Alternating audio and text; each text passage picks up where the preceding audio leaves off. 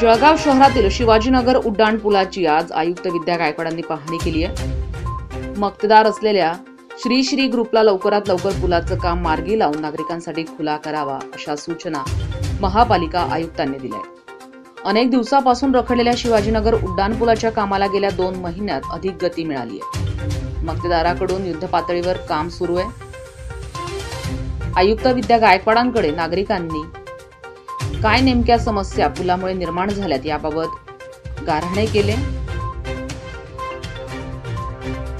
लवकरच शिवाजीनगर उड्डाण पूल. नागरिकांसाठी खुला होणार असं आश्वासन आयुक्त विद्या गायकवाडांनी शिवाजीनगर रहिवाशांना दिलं.